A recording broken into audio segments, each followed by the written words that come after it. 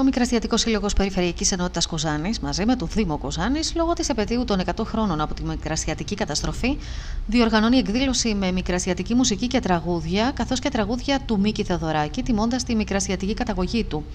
Η εκδήλωση θα πραγματοποιηθεί με τον Παντελή Θαλασσινό και την ευγενική χορηγία της Καλλιόπης Βέτα στις 9.30 την Κυριακή στο υπαίθριο Δημοτικό Θέατρο Κοζάνης. Η προπόληση των εισιτηρίων έχει ξεκινήσει. Ναι, πράγματι ο σύλλογό μας, ο Μικρασιατικός Σύλλογος Περιφερειακής Ενότητας Κοζάνης, μαζί με το Δήμο Κοζάνης, με τη βοήθειά του, θα κάνουμε αυτή την εκδήλωση. Είναι στα πλαίσια των επαιτειακών εκδηλώσεων λόγω των 100 χρόνων από τη Μικρασιατική καταστροφή.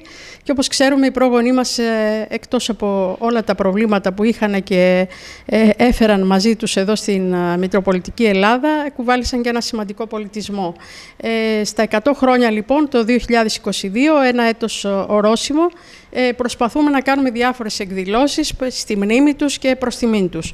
Ε, μία από αυτές είναι και μια μουσική εκδήλωση, ε, αφιέρωμα στο μικρασιάτικο τραγούδι και στη μικρασιάτικη μουσική, όπως επίσης θα ακουστούν και τραγούδια του Μίκη Θεοδωράκη, ε, τιμώντας έτσι την ε, εκμητρός μικρασιατική του καταγωγή. Η μητέρα του, η Ασπασία Πουλάκη, ήταν από τον Τσεσμέ της Μικράς Ασίας.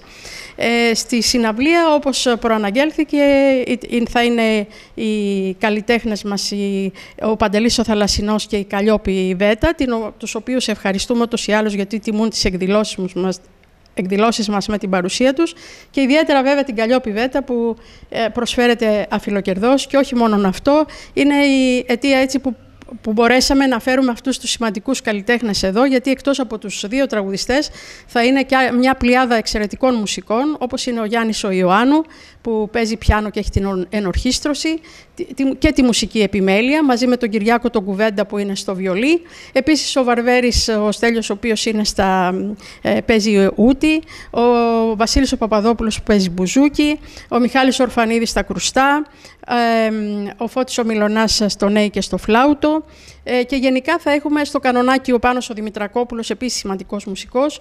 Ε, θα έχουμε έτσι μία, ε, πιστεύω, ένα πολύ καλό αποτέλεσμα ε, όσον αφορά την ε, βραδιά της, στις 31 Ιουλίου, την Κυριακή, όπως είπαμε, στις 9.30 ώρα.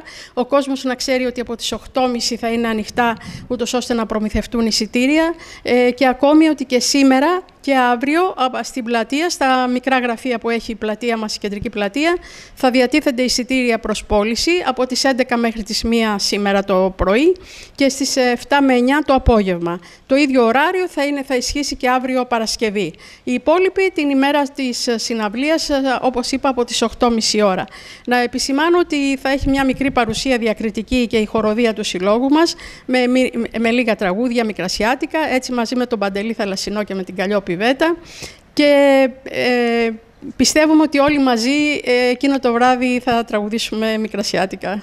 Σας περιμένουμε και ελπίζουμε σε μια έτσι πολύ καλή βραδιά.